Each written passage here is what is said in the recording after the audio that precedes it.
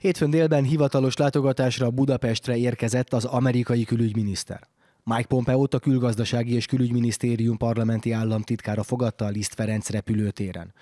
A washingtoni diplomácia vezetője először a Szabadságtérre érkezett, ahol felkereste Ronald Reagan volt amerikai elnök szobrát, majd civil szervezetek képviselőivel találkozott a nagykövetség épületében.